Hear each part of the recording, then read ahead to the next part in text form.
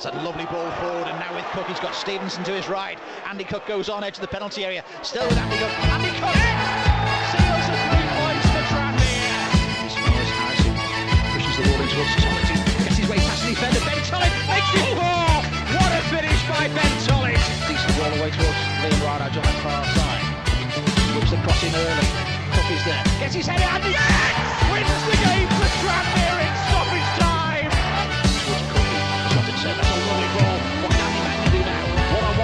Merry Christmas.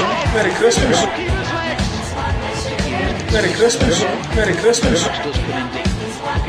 Merry Christmas. Merry Christmas. Merry Christmas. Merry Christmas.